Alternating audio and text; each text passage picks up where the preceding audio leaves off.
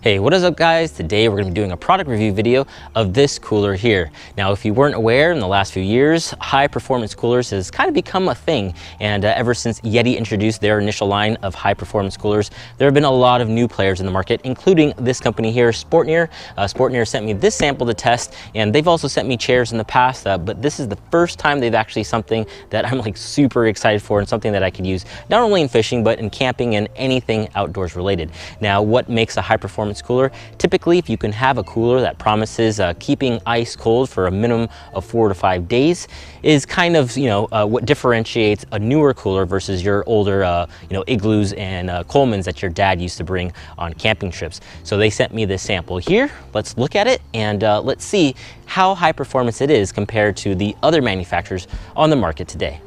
The Sportneer 25 quart cooler actually goes by that name. It doesn't have an official name, but if you look on Amazon, it actually is the Sportneer 25 quart cooler. The Sportneer 25 quart cooler consists of really two pieces, the lid and the base. Each piece seems to be uh, one single molded piece of plastic. I assume it's filled with foam for insulation. The handle attaches to the body in a pretty interesting way. On either side of the cooler, there's a plastic block that forces the handle to go in three different settings, forward, straight up and down, or back. As far as the plastic molding on the body, there really is no overmolding. Everything is nice, clean, and professionally done. The lid does have two cup holders that have nice drainage ports, including a nice uh, ruler built into the molding of the lid. It stopped at 17 inches for California's sake. I kind of wish it ended at 18 because as we all know, a keeper striper in California is 18 inches. The lid attaches to the body via a molded in hinge design, which I really, really like. On older igloos and craftsmen, oftentimes those are the failure points. If you dropped one or if you left it in the sun too long, those little plastic hinges would often break and your lid would no longer be connected to the body. Not with this. This lid will always be connected to the body and it's held together with a steel pin that's riveted on either end. The lid features two twin T rubber straps. Now, the longevity of a cooler often depends on how well the straps or the clamp mechanism is designed. Now, with Igloos and Coleman's, I know you can buy replacement ones readily on the market. These look like they're designed to last forever, but in the um, eventuality that the rubber fails, you're gonna have to contact the company for replacements or find them in the aftermarket.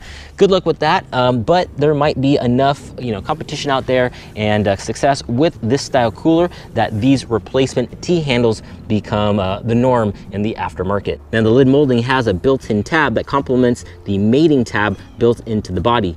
Each tab has a hole and sandwiches a stainless steel plate that allows for a secure lock if you want to lock the cooler shut, just to keep the kids out or prying eyes from your prized possessions inside. The cooler features a pretty heavy duty drainage plug and it's attached to an old bathtub style chain. Now I'm gonna remove this chain because I know from experience when you're transporting coolers on a boat, not only is there a lot of motion, I just wanna minimize the amount of rattling and thrashing that this chain would put on the body, but also if you're fishing in a lot of saltwater environments, this chain is gonna rust instantly. Now, one of the nice things about this cooler that really separates it from a lot of high performance coolers out there is that it has a built-in analog thermometer.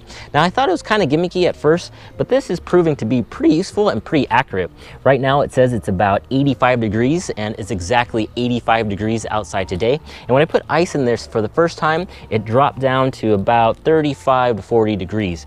Now, that's really helpful if you're storing meats for long durations of time. Not only do you want to be aware of how cold your meat is being kept, but you want to keep an eye on how the ice is doing without constantly opening and closing the lid. Every time you open and close the lid, you're introducing hot air into the body of the cooler and you don't want that. So you've heard all the pros and everything good I have to say about the Sportneer 25 quart cooler, but what about the cons? I'm sure a lot of you guys are watching just to find out what I don't like about this product. Now, I think really it's a well-designed, well-built cooler, but it does suffer from the same cons that, you know, high-performance coolers all share on the market today.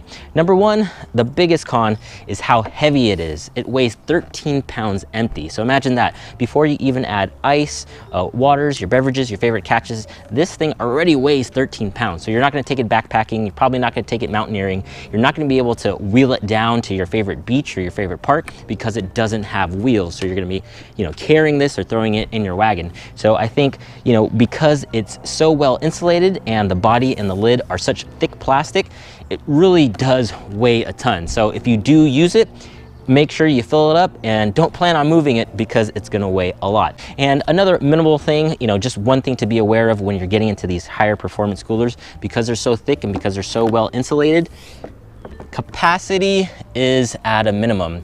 Yeah, I mean, you can fit, I think, up to 25 or 30 cans of soda in here, but you know, for coolers that have this footprint and uh, these dimensions, this has like maybe 75 to 80% of what those, you know, lesser known and, you know, weaker insulated coolers actually have. So, you know, you're paying for the insulation value that you get with this high performance cooler in weight and in minimal capacity. And I bet you're wondering, how does this compare to other popular style coolers on the market today? Well, as far as price, it's pretty competitive. This cooler costs, can you guess? $129. Yeah, $129 sounds like a lot for a cooler, but consider this. A comparable Yeti or K2 easily costs two to maybe even three times amount for the same size cooler. This soft Yeti tote bag only costs $279, but it's on sale $225 is the cheapest I could find it.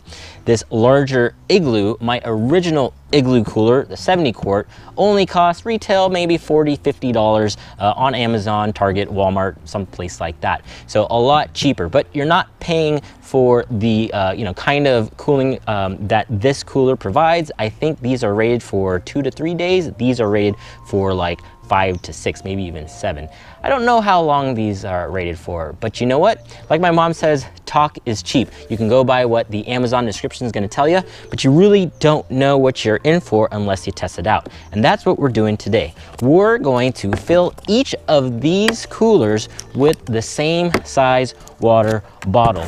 Oh, and uh, before we do this, this is kind of the critical part of the video. I want you to know I'm not being paid to uh, advertise or promote this cooler other than the form of this free sample. They sent it to me, I used it for a little bit, and they said, hey, can you make a video for us and let us know what you truly think? And that's what we're doing today. I've actually never tested any of these coolers in this way before, but I'm curious to see how each cooler does with the same amount of ice in each one. So we're gonna go ahead and put uh, our two bottles in this Yeti soft tote. Again, this Yeti soft tote costs about $230 on sale today.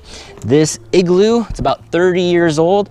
It, the only really the only thing is that I've ever replaced are the hinges and the locking tab here. Otherwise, this thing comes with me everywhere. I'm going to put three bottles in there.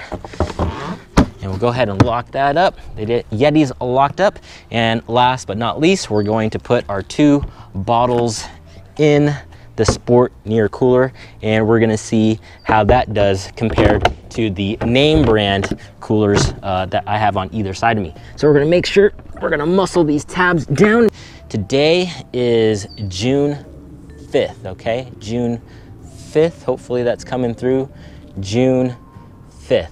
And I'm gonna leave these coolers right here. We're in kind of a shaded area, and uh, this is a perfect replication of real world conditions. Oftentimes when you take a cooler camp in, you're in and out of the sun, so we're gonna leave it just like that. So it's June 5th, 1.30 p.m. And I'll see you guys June 7th around the same time, and we'll see how this cooler does compared to these two.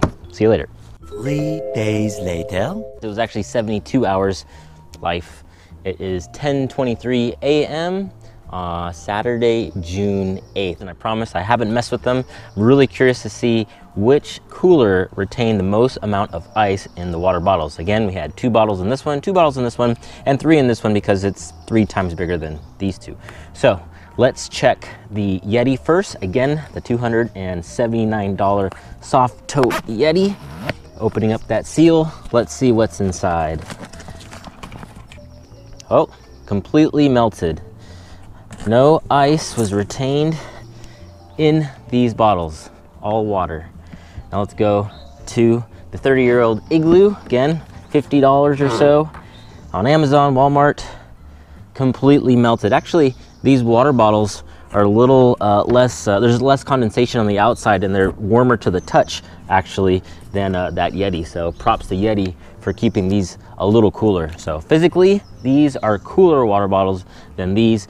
Now to the start of the show, the Sportneer 25 quart cooler. Again, uh, I think $130, $129 on Amazon. Now I did check on the uh, status of these coolers on the outside. Just wanted to make sure they were still there, not stolen. I did look at the thermometer here and it did say that the interior was at around like 42 degrees uh, yesterday. Right now it's at like 55 or so. So the ambient temperature outside is about 70.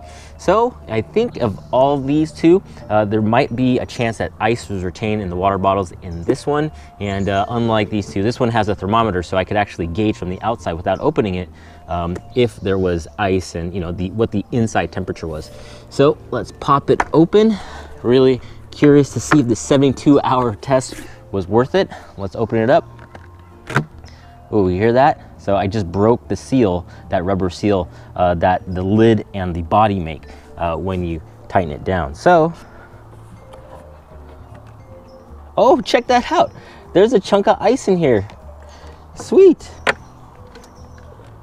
Wow, look at this one. This one has a lot of ice in there. I just want to show you guys that there's actually a big chunk of ice in there and in this one too this one is smaller. So it's funny so this one was the bottle that was kind of on the bottom. This one was kind of on top. So notice the difference in how much ice there is on the bottom one versus the top. As we all know hot air rises and cold air sinks. So this one definitely was in the colder layer of um, the air in this cooler. I, I'm actually pretty shocked. I really didn't know what to expect and I'm kind of glad that we did the full 72 hours instead of 48 because we really got a chance to see uh, how much water or how much ice completely disappeared from the Coleman cooler, how much ice disappeared from the Yeti, and how much ice was retained in the bottles for the Sportneer. So, man, you know, that was pretty cool. I really didn't know what to expect. I mean, yeah, I mean, you're only paying $129 for this cooler versus like $300 for a comparable um, hard Yeti. And uh, man, that was pretty cool. Hopefully you guys found this video informative and useful. And uh, you know, Yeti, you can buy name brand. Igloo, you can go with what you know. Sportneer, I think they did a pretty good job of making their version of an extreme uh, cold retention kind of high performance cooler uh, in the form of this one. So if you're interested, as always, in all my product reviews, link in the description below. If you want to buy uh, this particular one, go through that link and uh, any purchase made through that associate link directly support content like this. Again, this isn't a paid advertisement, otherwise, uh, you know, other than the form of this free sample that they sent me. And uh, after the 72 hour test, you know what? I'm pretty convinced that this thing works. Thanks again for watching, and I'll see you in the next one.